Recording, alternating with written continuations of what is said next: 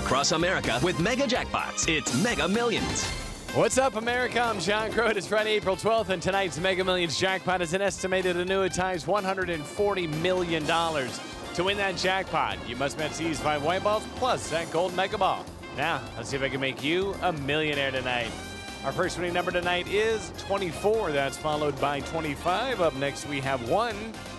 Your next number is 70, and your final white ball for this Friday evening is 40. Now for the mega ball number, that is 4. Again, tonight's winning numbers are 24, 25, 1, 70, 40, and the gold mega ball is 4. Now, if no one matches all six numbers, Tuesday's jackpot could be $157 million. Good luck and play on, America.